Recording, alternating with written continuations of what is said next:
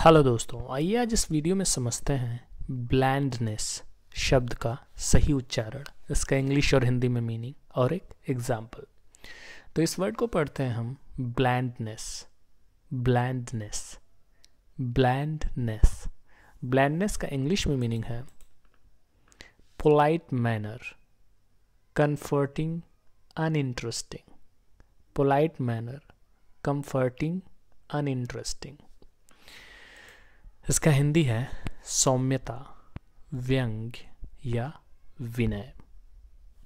चलिए इसको एग्ज़ाम्पल से समझते हैं। He tried few jokes to breach their blandness he tried a few jokes to breach their blandness उन्होंने उनकी निरस्ता को भंग करने के लिए कुछ चुटकुलों की कोशिश की। तो यहाँ पे ब्लैंडनेस का मतलब है नीरसता। ब्रीज का मतलब होता है भंग करना। तो इस वीडियो में इतना ही। वीडियो को लाइक करिए, चैनल को प्लीज़ सब्सक्राइब कर लीजिए।